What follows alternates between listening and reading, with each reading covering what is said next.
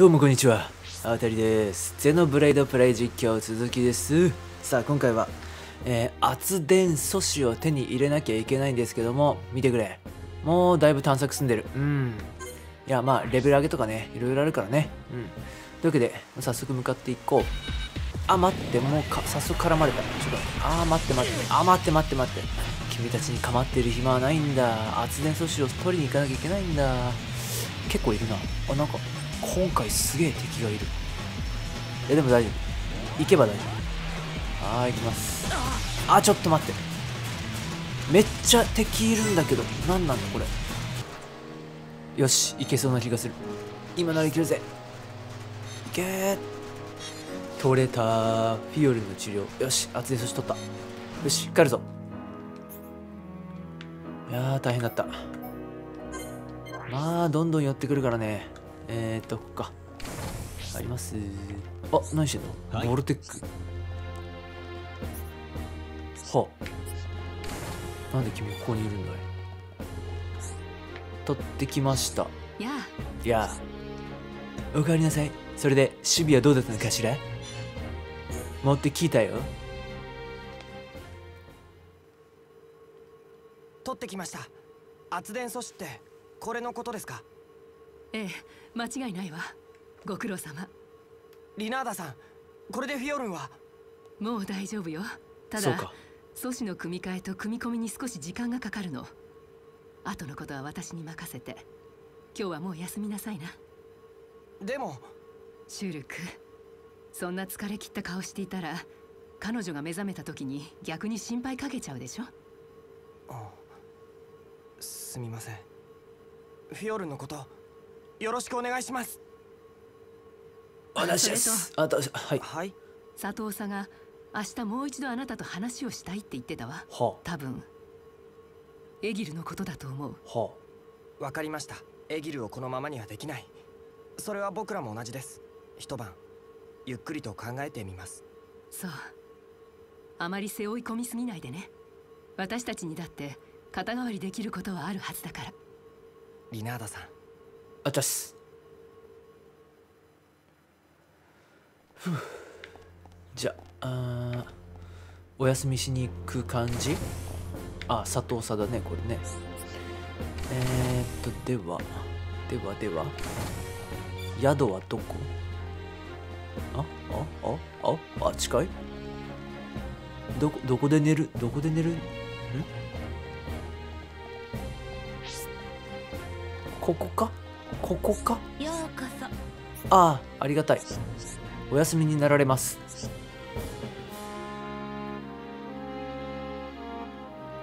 この後どうすんだっけ？まあ鬼神界登っていくんだよな。落ちた腕だから。なんかもういろいろありすぎてよく分かんなくなってどうだ？よく眠れたか。はいおかげさまで。それでその息子さんの話なんですが。決めてくれたかの？はい。エギルを何とかしなくちゃならない。その思いは僕らも同じです。ですが今すぐには行動は起こせない。おおそれはなぜかな？僕らがここに来る前巨神会で連合軍を編成するって話を聞きました。多分近いうちに鬼神会に対して攻勢をかけるはず。このままでは危険なんですみんなが。エギルは僕らを抹殺する武器を作っていた。ムムカが使っていた武器か。緑の液体を射出する。巨神界の生き物を腐らせるとか言ってたわね。戻ってみんなに知らせなくちゃならないんです。取り返しのつかなくなる前に。おなった。ああ早いな来るの。そういうことなら俺が頼まれてやってもいいぜ。ディクソンさん？なぜここに？確かに。なんでここにいるの？よくここが分かりましたね。何？要塞はここの真上だからな。あそこから落ちたのならきっとここに流れ着いていると踏んだろさ。案の定正解だったぜ。さてはお前黒幕だな。元気そうだなディクソン。知り合いかよあんたも相変わらずで安心したぜ。お前知り合いなのか？まあな。わしらとは持ちつ持たれつの関係だよ。下界の動向を里にもたらしてくれる代わりにこっちの技術や情報を提供するってわけだ。なぜ今まで黙っていた？鬼神界と戦っている俺たちにとって大事なことだろ俺たちだって善人ばかりじゃねえ。鬼神界憎しの連中がここを見つけたらどうなる。ここのマシーナは無益な争いを避けるために世俗とのつながりを断った連中だ。彼らの平穏のためというわけか。人は見かけによらぬというがなるほどな。一言多いぞ。さすがは皇太子殿下。はっきりと言うね。それであれこれ出所不明のものをコロニー9に持ち込んでいたのか一体どこから集めてくるのかと思ってたぜ。シュルクの属していた防衛隊兵器開発局の助けになりゃいいと思ってな。まあこれで独占状態は崩れちまったか。でその武器のことだがそんなにやべえもんなのか？はい。原理はわからないけど触れたものを崩壊させるんです。それも僕たち巨神界の生物限定で。ふんそいつは面白そうだな。ディクソン。冗談だよ。ま要するに触れなきゃいいんだろ？ならすぐにでも対抗策は練れるだろうぜ。任せろよ。ひとっ飛びで知らせてきてやらお前たちはそのエギルとかいう野郎をぶっ飛ばしてこいや。うまくぶっ飛ばせれば連合軍も戦わずに済むかもしれんしな。はい。少しどうした？考えさせてください。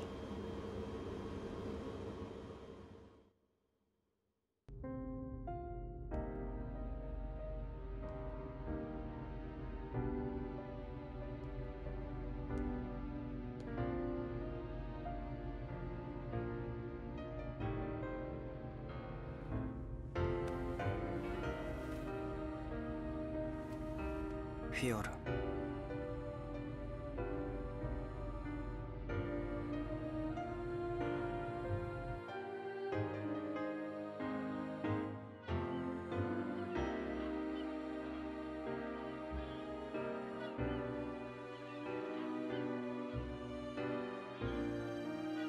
まだ踏ん切りがつかねえか。ディクソンさん。ダンバンから聞いたぜ。お前の旅の目的。最初はフィオルンの敵討ちだったんだろ。はい。だがフィオルンは生きていた。そして取り戻した。めでたくこれで目的は果たしたってわけだろ。ディクソンさんは何のために戦ってるんです？俺か？俺はただ気に入らないだけよ。エギルってやつがな。ホムスを滅ぼそうとするからですか？まあそれもある。だがな巨神への恨みを言ってみりゃ巨神の下っ端である俺たちで晴らそうって根性が気に入らねえ。一つ教えておいてやろう。巨神界の連合軍。ありゃ意外と早くまとまりそうだぞ本当ですか？ああ。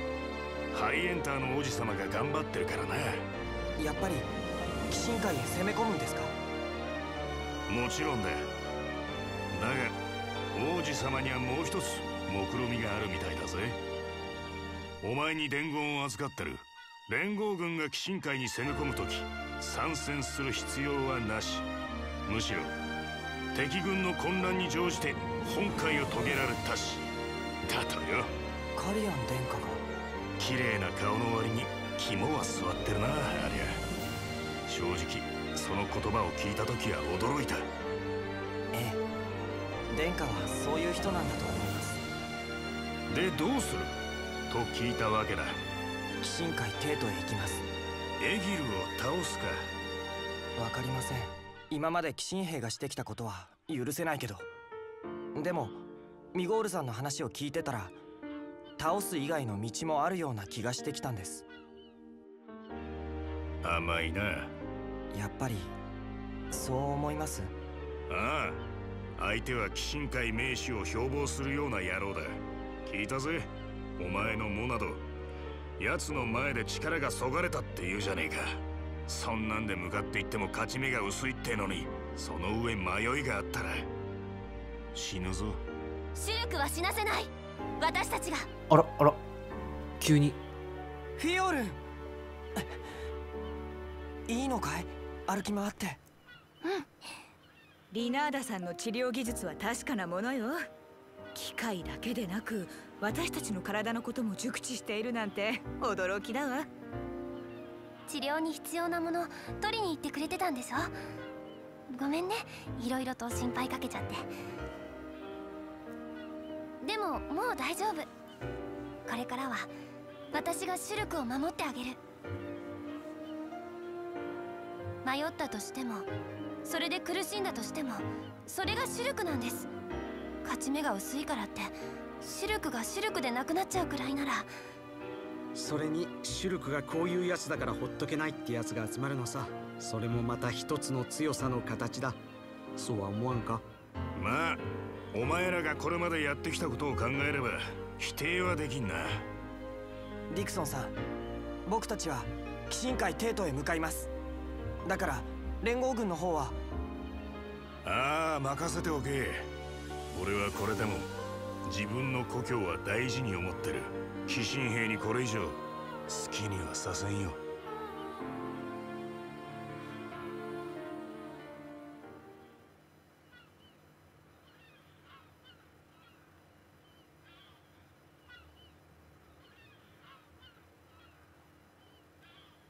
行くのか。あはい。外に出ていいんだいろいろお世ね話になりました。もし鬼神会帝都でバネアというものにあったらわしの名前を出すといい。力を貸してくれるかもしれんぞ。バネア？バネやあ知ってるの？もマシーナなんですか？わしの娘だよ。おエギルの近くにいるあバネア？まさか？ってことはつまりエギルの妹？そうなるわな。なのに僕たちに力を？あの子はむしろエギルに非道なことをさせたくない。止めたいと思っておる。きっとあんたたちの力になれるはずだ。そんな人が。わかりました。なんとか会ってみたいと思います。頼んだよはい。あれか。えっ、と白の顔つきをせなんか整備してた人じゃないかな。あなたの体には応急処置を施しただけ。十分に戦えるようになったと思うけど無理をしすぎないこと。調子が悪くなったら私のところへ来なさい。はい。ありがとうございます。それまでにあなたの元の体を取り戻す方法を考えてみる。そんなことが？原理的には遺伝情報から欠損した部位を再生すればほいえ希望を持たせるのは酷ね。正直まだ希望はほとんどない。うここで iPS 細胞の出番わですね。ずかな可能性でもそれを追求してみようと思う。お願いします。はいお願いします。フィオルン。そんな顔しないで。さあ行こ大したもんだぜそのモナドでどこまでやれるのか期待してるぜシュルク。あんたは一体何をどこまで知ってるんだい？あら。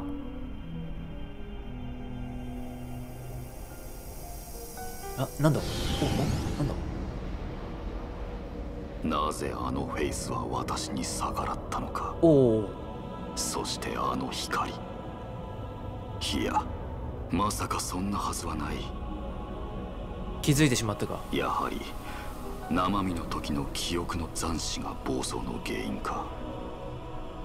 黒のフェイスもそれゆえ能力に限界があった。行動の阻害となる残滓は全て取り除かねばならぬか。必要なのは闘争本能のみこのホムスの女。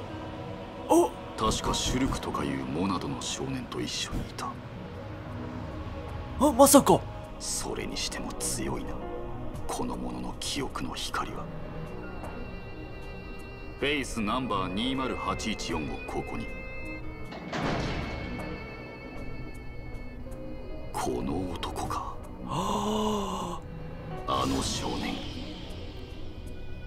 シュルクは生きている。ならばこの男の手で葬るも一興。楽にしてやろう。生地記憶などというものがあるから苦しむのだ。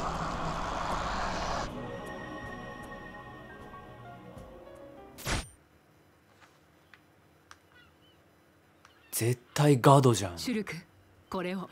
はい。これは？鬼神界へと通じる道は、うんうん、うん、落ちた鬼神の人差し指の付け根から鬼神の足元へと伸びているの。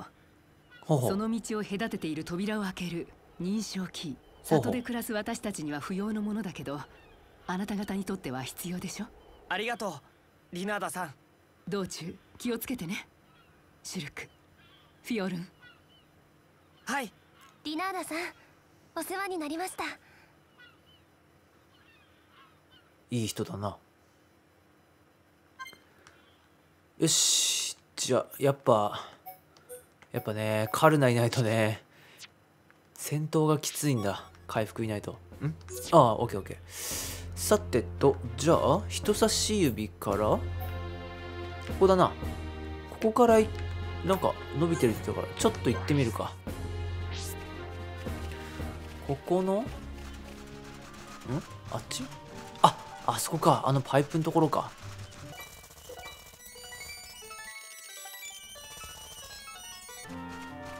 うん。このパイプから登っていけばいいのか？それともその壁を登ればいいのか？こっちだなきっとな。落ちないように気をつけねば。うん。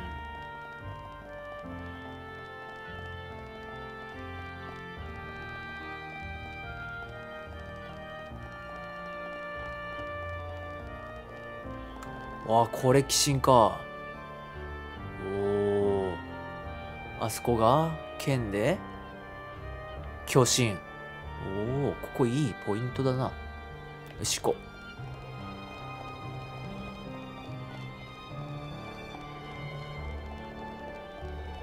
あこれだな。あっと回転式防壁。あちょっと待って。え？あびっくりした。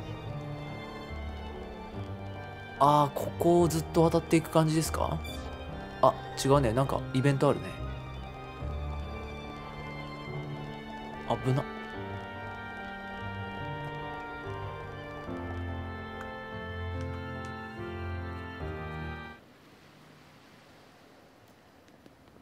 巨神会と鬼神会か。こんな風に全体を見るの初めてだねここからでは見えぬがあの上では未だ同胞たちが戦っているのだろうな。あんな巨大な者同士の戦いが本当にあっただなんて当時のマシーナたちはどんな気持ちだったんだろう。恐怖かな？そうだね。恐怖は人から理性を奪う。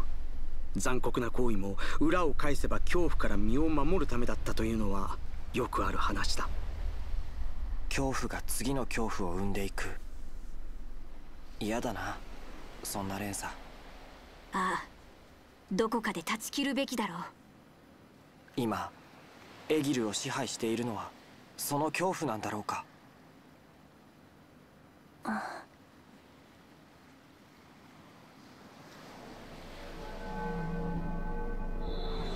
なんえ？え？何？急にやめて。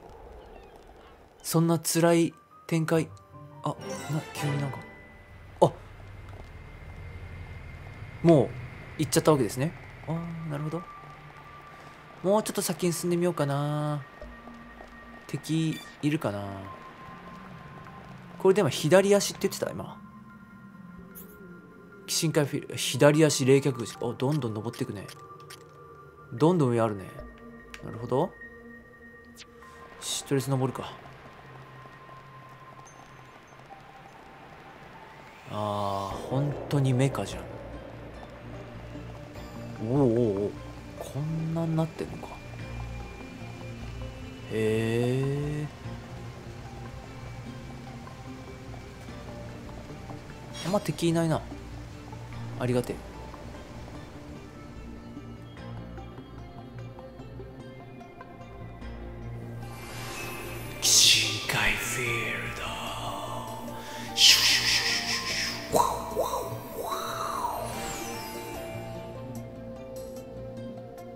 普通に敵いたな。これが鬼神の内部。鬼神というだけあって全てが機械でできているのか。これを登っていくのは骨が折れそうだぜ。この上にエギルが。